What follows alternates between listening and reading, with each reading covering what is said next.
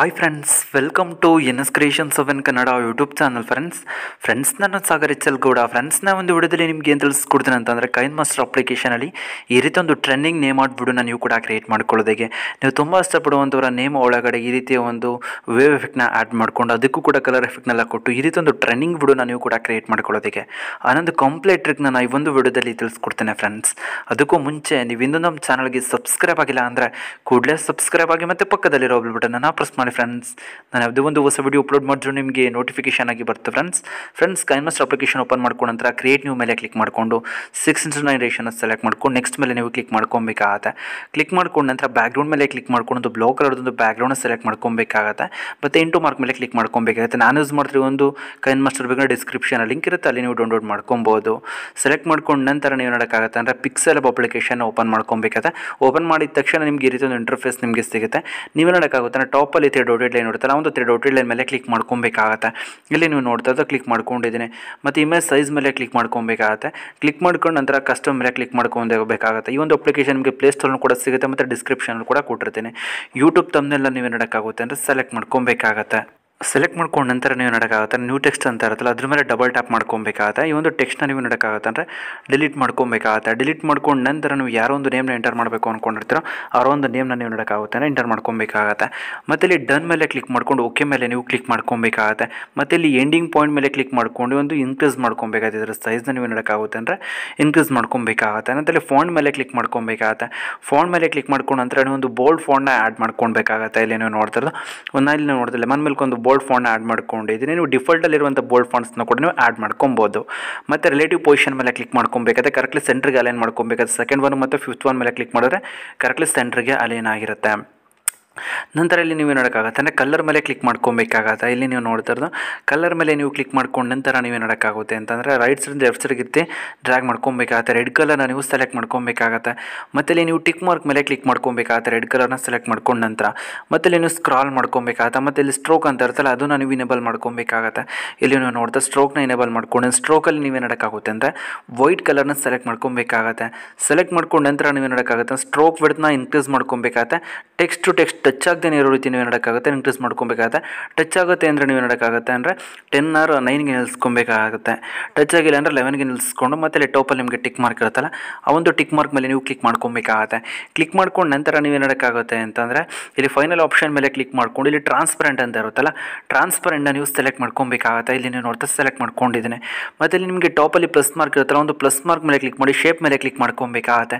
Shape ಮೇಲೆ click ಮಾಡ್ಕೊಂಡು ನಂತರ ನೀವು ನೋಡೋಕ್ಕಾಗುತ್ತೆ ಅಂತಂದರೆ, ಇಲ್ಲಿ ನೀವು ಸ್ಕ್ರಾಲ್ ಮಾಡ್ಕೊಬೇಕಾಗತ್ತೆ. ಇಲ್ಲಿ ನೀವು ನೋಡ್ತಾ ಇರೋದು. ಸ್ಕ್ರಾಲ್ ಮಾಡ್ಕೊಂಡು ನಂತರ ನೀವು ನೋಡೋಕ್ಕಾಗತ್ತೆ ಕಲರ್ ಅಂತ ಒಂದು ಆಪ್ಷನ್ ನಿಮಗೆ ಸಿಗುತ್ತೆ. ಇಲ್ಲಿ ನೀವು ಬ್ಲಾಕ್ ಕಲರ್ನ ಸೆಲೆಕ್ಟ್ ಮಾಡ್ಕೊಬೇಕಾಗತ್ತೆ. ಸೆಲೆಕ್ಟ್ ಮಾಡ್ಕೊಂಡು ನಂತರ ಇಲ್ಲಿ ಟಿಕ್ ಮಾರ್ಕ್ ಮೇಲೆ ಕ್ಲಿಕ್ ಮಾಡ್ಕೊಂಡು ಇದನ್ನು ನೀವು ನೋಡೋಕ್ಕಾಗತ್ತಾರೆ ಎಂಡಿಂಗ್ ಪಾಯಿಂಟ್ನ ನೀವು ಇಟ್ಕೊಬೇಕಾಗತ್ತೆ. ಎಂಡಿಂಗ್ ಪಾಯಿಂಟ್ನ ಇಟ್ಕೊಂಡು ನೀವು ನೋಡೋಕ್ಕಾಗತ್ತೆ ಅಂದರೆ ಇನ್ಕ್ರೀಸ್ ಮಾಡ್ಕೊಬೇಕಾಗತ್ತೆ. ಇಲ್ಲಿ ನೀವು ನೋಡ್ತಾರೆ ಈ ರೀತಿ. ಇನ್ಕ್ರೀಸ್ ಆಗಿದ್ದಂತೆ ಇಲ್ಲಿ ಟೋಪಲ್ ಟಿಕ್ ಮಾರ್ಕ್ ಇರ್ತಾರೆ ಒಂದು ಟಿಕ್ ಮಾರ್ಕ್ ಮೇಲೆ ಕ್ಲಿಕ್ ಮಾಡ್ಕೊಬೇಕಾಗತ್ತೆ. ಮತ್ತು ಇಲ್ಲಿ ಪೆನ್ಸಿಲ್ ಐಕಾನ್ ಮೇಲೆ ಕ್ಲಿಕ್ ಮಾಡ್ಕೊಬೇಕಾಗತ್ತೆ. ಇಲ್ಲಿ ಫೈನಲ್ ಆಪ್ಷನ್ ಇರುತ್ತಲ್ಲ ಸೆಂಟು ಬ್ಯಾಕು ಅದ್ರ ಮೇಲೆ ನೀವು ನೋಡೋಕ್ಕಾಗುತ್ತೆ ಕ್ಲಿಕ್ ಮಾಡ್ಕೊಬೇಕಾಗುತ್ತೆ. ಒಂದು ಬ್ಲಾಕ್ ಸ್ಕ್ರೀನ್ ಏನಾಗಿರುತ್ತೆ ಅಂದರೆ ಬ್ಯಾಕ್ಗ್ರೌಂಡ್ಗೆ ಆ್ಯಡ್ ಆಗಿರುತ್ತೆ. ಮತ್ತು ಇಲ್ಲಿ ಟಾಪಲ್ಲಿ ನಿಮಗೆ ಒಂದು ಆಪ್ಷನ್ ಕಾಣಿಸ್ತದೆ ಬಾಕ್ಸ್ ಟೈಪ್ ಅದ್ರ ಮೇಲೆ ನೀವು ಕ್ಲಿಕ್ ಮಾಡ್ಕೊಬೇಕಾಗತ್ತೆ. ಕ್ಲಿಕ್ ಮಾಡ್ಕೊಂಡು ನಂತರ ಎಂಡಿಂಗಲ್ಲಿ ಇಂಟು ಮಾರ್ಕ್ ಮತ್ತು ಟಿಕ್ ಮಾರ್ಕ್ ಇರುತ್ತಲ್ಲ, ಅದ್ರ ಮೇಲೆ ಕ್ಲಿಕ್ ಮಾಡಿಕೊಂಡು ಇಲ್ಲಿ ನೀವು ನೋಡೋಕ್ಕಾಗುತ್ತೆ. ಎರಡಕ್ಕೂ ಕೂಡ ಟಿಕ್ ಮಾಡ್ಕೊಬೇಕಾಗತ್ತೆ. ಟಿಕ್ ಮಾಡ್ಕೊಂಡ ನಂತರ ಇಲ್ಲಿ ಡ್ಯೂಯಲ್ ಆರೋ ಮಾರ್ಕ್ ಇರುತ್ತಲ್ಲ, ಅದ್ರ ಮೇಲೆ ನೀವು ಕ್ಲಿಕ್ ಮಾಡ್ಕೊಬೇಕಾಗತ್ತೆ. ಕ್ಲಿಕ್ ಮಾಡ್ಕೊಂಡ ನಂತರ ಇಲ್ಲಿ ಕನ್ಫರ್ಮ್ ಅಂತ ಕೇಳುತ್ತೆ. ಕನ್ಫರ್ಮ್ ಅಲ್ಲಿ ಓಕೆ ಮೇಲೆ ನೀವು ಕ್ಲಿಕ್ ಮಾಡ್ಕೊಬೇಕಾಗತ್ತೆ. ಇವಾಗ ಏನಾಗಿರುತ್ತೆ ಕರೆಕ್ಟ್ಲಿ ಮರ್ಜ್ ಆಗಿರುತ್ತೆ. ಇಲ್ಲಿ ತರ್ಡ್ ಆಪ್ಷನ್ ಮೇಲೆ ಕ್ಲಿಕ್ ಮಾಡ್ಕೊಬೇಕಾಗುತ್ತೆ. ಇಲ್ಲಿ ಸ್ಕ್ರಾಲ್ ಮಾಡ್ಕೊಬೇಕಾಗುತ್ತೆ. ಸ್ಕ್ರಾಲ್ ಮಾಡ್ಕೊಂಡಂತೆಲ್ಲ ಎರೇಸ್ ಕಲರ್ ಅಂತ ಒಂದು ಆಪ್ಷನ್ ನಿಮಗೆ ಸಿಗುತ್ತೆ. ಕೈನ್ ಮೆಸ್ರಲ್ಲಿ ನಮಗೆ ಕ್ರೋಮಾಕಿ ರೀತಿ ವರ್ಕ್ ಆಗುತ್ತೆ ಇದು. ಎರೇಸ್ ಕಲರ್ ಇದನ್ನು ಇನೇಬಲ್ ಮಾಡ್ಕೊಬೇಕಾಗುತ್ತೆ. ಬೇರೆ ಒಂದು ಕಲರ್ ಎರೇಸ್ ಆಗಿತ್ತು ಅಂತಂದರೆ ನೀವೇ ನೋಡೋಕ್ಕಾಗುತ್ತೆ. ಈ ರೀತಿ ರೆಡ್ ಕಲರ್ನ ಸೆಲೆಕ್ಟ್ ಮಾಡ್ಕೊಂಡು ಟಿಕ್ ಮಾರ್ಕ್ ಮೇಲೆ ಕ್ಲಿಕ್ ಮಾಡ್ಕೊಬೇಕಾಗುತ್ತೆ. ಇಲ್ಲಿ ನೀವು ನೋಡ್ತಾರೆ ರೆಡ್ ಕಲರ್ನ ಸೆಲೆಕ್ಟ್ ಮಾಡ್ಕೊಂಡಿದ್ರೆ ಮತ್ತೆ ಟಿಕ್ ಮಾರ್ಕ್ ಮೇಲೆ ಕ್ಲಿಕ್ ಮಾಡ್ಕೊಂಡಿದ್ದೀನಿ. ಕ್ಲಿಕ್ ಮಾಡ್ಕೊಂಡಂತ ರೆಡ್ ಕಲರ್ ಇನ್ನೂ ಇತ್ತು ಅಂತ ಅಂದರೆ ನೀವೇ ಅಂದ್ರೆ ಅಂದರೆ ಟಾಲರೆನ್ಸ್ನ ಇನ್ಕ್ರೀಸ್ ಮಾಡ್ಕೊಬೇಕಿತ್ತು. ಪೂರ್ತಿ ಟಾಲರೆನ್ಸ್ ಇನ್ಕ್ರೀಸ್ ಮಾಡಿದ್ರೆ ಏನಾಗುತ್ತೆ ಅಂದರೆ ಫುಲ್ ಟ್ರಾನ್ಸ್ಪರೆಂಟ್ ಆಗಿಬಿಡುತ್ತೆ. ಅದಕ್ಕೋಸ್ಕರ ನೀವು ಏನು ನೋಡೋಕ್ಕಾಗುತ್ತೆ ಅಂದರೆ ರೆಡ್ ಕಲರ್ ಹೋಗೋವರೆಗೂ ನೀವು ನೋಡೋಕ್ಕಾಗುತ್ತೆ ಸ್ವಲ್ಪ ಅಡ್ಜಸ್ಟ್ಮೆಂಟ್ ಮಾಡ್ಕೊಬೇಕಾಗತ್ತೆ. ಅಡ್ಜಸ್ಟ್ ಮಾಡ್ಕೊಂಡು ನಂತರ ಟಿಕ್ ಮಾರ್ಕ್ ಮೇಲೆ ಕ್ಲಿಕ್ ಮಾಡ್ಕೊಂಡು ಟೋಪಲ್ ನಿಮಗೆ ತ್ರೀ ಡೌಟ್ ಏನು ನೋಡುತ್ತಲ್ಲ ಅದ್ರ ಮೇಲೆ ಕ್ಲಿಕ್ ಮಾಡ್ಕೊಂಡು ಎಕ್ಸ್ಪೋರ್ಟ್ ಇಮೇಜ್ ಮೇಲೆ ಕ್ಲಿಕ್ ಮಾಡ್ಕೊಂಡು ಡೈಮೆನ್ಷನ್ ಮೇಲೆ ಕ್ಲಿಕ್ ಮಾಡ್ಕೊಂಡು ಅಲ್ಟ್ರಾನ ಸೆಲೆಕ್ಟ್ ಮಾಡ್ಕೊಂಡು ಟಾಪಲ್ ಸೇವ್ ಟು ಗ್ಯಾಲರಿ ಅಂತ ಇರ್ತಲ್ಲ ಅದ್ರ ಮೇಲೆ ಕ್ಲಿಕ್ ಮಾಡಿದ್ರೆ ನಿಮ್ಮ ಒಂದು ಗ್ಯಾಲರಿಗೆ ಬಂದು ಸೇವ್ ಆಗಿರುತ್ತೆ. ನಂತರ ಕೈನ್ ಮಾಸ್ಟರ್ ಅಪ್ಲಿಕೇಶನ್ ಓಪನ್ ಮಾಡ್ಕೊಬೇಕಾಗತ್ತೆ. ಲೇಯರ್ ಮೇಲೆ ಕ್ಲಿಕ್ ಮಾಡಿ ಮೀಡಿಯಾ ಮೇಲೆ ನೀವು ಕ್ಲಿಕ್ ಮಾಡ್ಕೊಬೇಕಾಗತ್ತೆ. ಕ್ಲಿಕ್ ಮಾಡ್ಕೊಂಡು ನಂತರ ನೀವು ನೋಡೋಕ್ಕಾಗುತ್ತೆ ಇವಾಗ ನಾವು ಎಕ್ಸ್ಪೋರ್ಟ್ ಮಾಡಿರ್ತೀವಲ್ವ ಪಿಕ್ಸೆಲ್ ಲ್ಯಾಬಲ್ಲಿ ಆ ಒಂದು ಪಿ ಎನ್ ಜಿನ ಸೆಲೆಕ್ಟ್ ಮಾಡ್ಕೊಂಡು ಇಲ್ಲಿ ಸ್ಪಿಡ್ ಸ್ಕ್ರೀನ್ ಎಬಲ್ ಮಾಡ್ಕೊಬೇಕಾಗತ್ತೆ. ಇಲ್ಲಿ ನೀವು ನೋಡಿದ್ರೆ ಸ್ಪ್ಲಿಟ್ ಸ್ಕ್ರೀನ್ ಎಬಲ್ ಮಾಡ್ಕೊಂಡಿದ್ದೀನಿ. ಮತ್ತು ಅದೇ ಒಂದು ಲೇಯರ್ ಮೇಲೆ ಕ್ಲಿಕ್ ಮಾಡ್ಕೊಬೇಕಾಗತ್ತೆ. ಸ್ಟಾರ್ಟಿಂಗಿಂದ ಎಂಡಿಂಗ್ವರೆಗೂ ಡ್ರ್ಯಾಗ್ ಮಾಡ್ಕೊಬೇಕಾಗತ್ತೆ. ಮತ್ತು ಲೇಯರ್ ಮೇಲೆ ಕ್ಲಿಕ್ ಮಾಡಿಕೊಂಡು ಟೆಕ್ಸ್ಟ್ ಮೇಲೆ ನೀವು ನಡಕಾಗುತ್ತೆ ಅಂದರೆ ಕ್ಲಿಕ್ ಮಾಡ್ಕೊಬೇಕಾಗತ್ತೆ. ಇಲ್ಲಿ ನೀವು ನೋಡ್ತೀರಿ ಎಮೋಜಿ ಸಿಂಬಲ್ ಇರುತ್ತಲ್ಲ, ಅದ್ರ ಮೇಲೆ ಕ್ಲಿಕ್ ಮಾಡ್ಕೊಬೇಕಾಗತ್ತೆ. ಒಂದು ತ್ರೀ ಏನು ನಡಕಾಗುತ್ತೆ ಅಂದರೆ ಒಂದು ಲವ್ ಎಮೋಜಿಸ್ಗಳನ್ನ ನೀವು ನಡಕಾಗುತ್ತೆ ಅಂದರೆ ಸೆಲೆಕ್ಟ್ ಮಾಡ್ಕೊಬೇಕಾಗತ್ತೆ. ಸೆಲೆಕ್ಟ್ ಮಾಡ್ಕೊಂಡು ನಂತರ ಓಕೆ ಮೇಲೆ ನೀವು ಕ್ಲಿಕ್ ಮಾಡ್ಕೊಬೇಕಾಗತ್ತೆ. ಮತ್ತು ಇದನ್ನು ಕೂಡ ಸ್ಟಾರ್ಟಿಂಗಿಂದ ಎಂಡಿಂಗ್ವರೆಗೂ ಡ್ರ್ಯಾಗ್ ಮಾಡ್ಕೊಂಡು ಸೈಜ್ನ ನೀವು ನಡಕಾಗುತ್ತೆ ಅಂದರೆ ಇನ್ಕ್ರೀಸ್ ಮಾಡಿಕೊಂಡು ನೇಮ್ ಟಾಪ್ ಸೈಡ್ಗೆ ನೋಡೋಕ್ಕಾಗುತ್ತೆ ಒಂದು ಎಮೋಜಿನ ಆ್ಯಡ್ ಮಾಡ್ಕೊಬೇಕಾಗತ್ತೆ ಇಲ್ಲಿ ನೀವು ನೋಡ್ತಾ ಇರ್ತಾ ಆ್ಯಡ್ ಮಾಡ್ಕೊಂಡಿದ್ದೀನಿ. ಆ್ಯಡ್ ಮಾಡ್ಕೊಂಡ ನಂತರ ನೀವು ನೋಡೋಕ್ಕಾಗುತ್ತೆ ಅಂತ ಅಂದರೆ ಟಿಕ್ ಮಾರ್ಕ್ ಮೇಲೆ ನೀವು ಕ್ಲಿಕ್ ಮಾಡ್ಕೊಬೇಕಾಗತ್ತೆ. ಕ್ಲಿಕ್ ಮಾಡ್ಕೊಂಡ ನಂತರ ನೀವು ನೋಡೋಕ್ಕಾಗುತ್ತೆ ಅಂದ್ರೆ ಸ್ಟಾರ್ಟಿಂಗಿಗೆ ಮೂವ್ ಮಾಡ್ಕೊಬೇಕಾಗತ್ತೆ. ಮತ್ತು ಇಲ್ಲಿ ನೀವು ನೋಡೋಕ್ಕಾಗುತ್ತೆ ಅಂದರೆ ಲೇಯರ್ ಮೇಲೆ ಕ್ಲಿಕ್ ಮಾಡ್ಕೊಬೇಕಾಗತ್ತೆ. ಮತ್ತು ಇಲ್ಲಿ ಮೀಡಿಯಾ ಮೇಲೆ ಕ್ಲಿಕ್ ಮಾಡ್ಕೊಬೇಕಾಗತ್ತೆ. ವೇ ಎಫೆಕ್ಟ್ ಇರುವಂಥದ್ದು ಒಂದು ಬ್ಲಾಗ್ಸ್ಗೆ ನೀವು ಕೊಡುತ್ತೆ ಅದೇ ಕೂಡ ನಿಮಗೆ ಡಿಸ್ಕ್ರಿಪ್ಷನಲ್ಲಿ ಇರುತ್ತೆ. ಅಲ್ಲಿ ನೀವು ಡೌನ್ಲೋಡ್ ಮಾಡ್ಕೊಬೇಕಾಗತ್ತೆ. ಡೌನ್ಲೋಡ್ ಮಾಡ್ಕೊಂಡ ನಂತರ ಅದೇ ಒಂದು ಲೇಯರ್ ಮೇಲೆ ಕ್ಲಿಕ್ ಮಾಡ್ಕೊಬೇಕಾಗತ್ತೆ. ರೀತಿ ಸೈಜ್ನ ಇನ್ಕ್ರೀಸ್ ಮಾಡ್ಕೊಬೇಕಾಗತ್ತೆ. ಇನ್ಕ್ರೀಸ್ ಮಾಡ್ಕೊಂಡ ನಂತರ ಟೋಪಲ್ ತ್ರೀ ಡೋಟೆಲ್ ಏನಿರುತ್ತಲ್ಲ ಅದ್ರ ಮೇಲೆ ಕ್ಲಿಕ್ ಮಾಡ್ಕೊಂಡು ಸೆಂಟ್ ಬ್ಯಾಕ್ ಮೇಲೆ ನೀವು ಕ್ಲಿಕ್ ಮಾಡ್ಕೊಬೇಕಾಗತ್ತೆ.